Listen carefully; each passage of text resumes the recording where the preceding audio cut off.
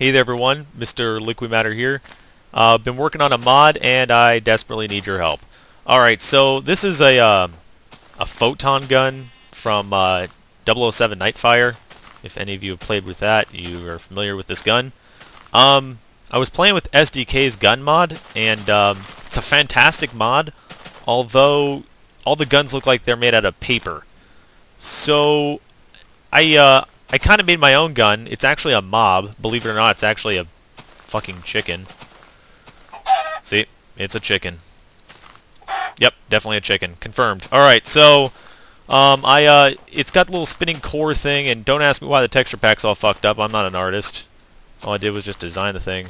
Uh, oh yeah, so I was playing on 8-bit mod, and, um, you can drop this creature, and he jumps onto your head, and you can walk around with this little bomb on your head, and that's neat.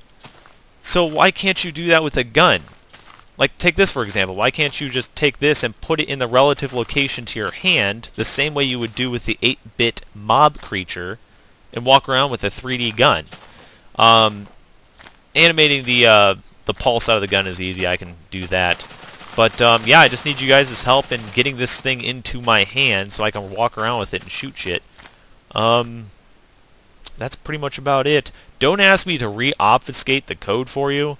Um, I know how, although I'm having a problem. It's obfuscating the entire fucking jar file, and I'm pretty sure I didn't edit every single entity. So, yep. Uh, also, let me know what you think. Maybe I should just drop the project, because this is nearly fucking impossible. Yeah! Oh, and, yeah, they are chickens, but they're just not falling, because I turned their fall down. Fuck. Alright, what the fuck?